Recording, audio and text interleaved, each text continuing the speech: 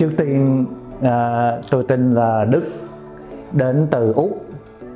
Thì à, Đức cũng đến từ Úc. Cách đây sống ở bên nước ngoài cũng 37 năm.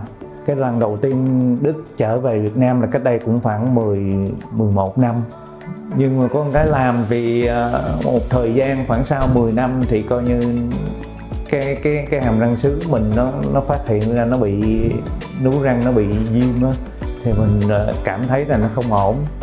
Thì mình quyết định từ úc để mới trở về Việt Nam để mình tìm cái ờ, một cái công ty mà nha khoa để điều chỉnh hay là sửa hay là thay ăn sứ cho nó tốt hơn.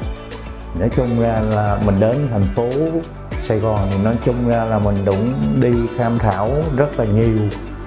À, nhưng mà qua cái điều kiện là Đức có một người bạn cũng giới thiệu cũng làm cho bác sĩ Cường. Cũng làm ở đây một vài lần này người ta giới thiệu tương đối là uy tín. Làm nó cũng có cái lương tâm.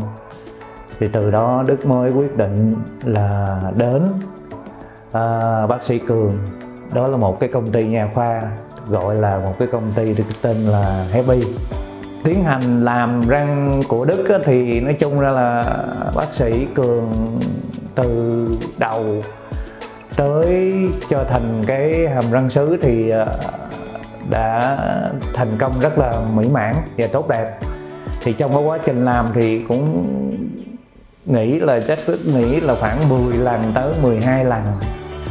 Từ cái giai đoạn mà tháo ra, rồi ờ, khẩu thực những cái nú răng mình nó không có chỉnh chu á, thì mình làm lại cho nó tốt đẹp hơn rồi để cho nó lành cái nấu răng, rồi trong cái thời gian nó thì ờ, làm từng cái giai đoạn khác.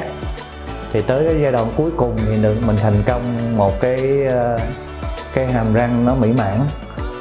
Thì ờ, trong cái quá trình làm thì thật sự ra mà nói thì đức cảm thấy nó không có đau gì hết. Thật sự ra mà nói là làm từ đầu đến cuối luôn không cảm thấy đau gì hết. Người ta làm rất là kỹ và người ta làm rất là chu đáo cho đến khi mà tôi đức về nhà thì cũng có người cố gắng hỏi thăm, coi coi cái cái tình hình của mình, cái hàm răng của mình có đau nhất hay không. Thì ờ, nói chung ra là cái công ty Happy là một cái công ty thật sự là làm rất là uy tín. Cuối cùng thì cái hàm răng mà khi mà làm kết thúc thì ờ, khi mà nhìn vô cái cái cái cái cái bà, cái kiến để mình nhìn cái khuôn mặt của mình cười hay là cách nói chuyện ấy, thì cái hàm răng của mình nó tỏa sáng hơn và nó đẹp hơn cái lúc bình thường khoảng chừng 80 phần trăm. Đó so sánh với cái hàm răng cũ của mình thì uh, cuối cùng thì Đức cũng gửi lời cho tất cả các anh em trong nước ngoài nước.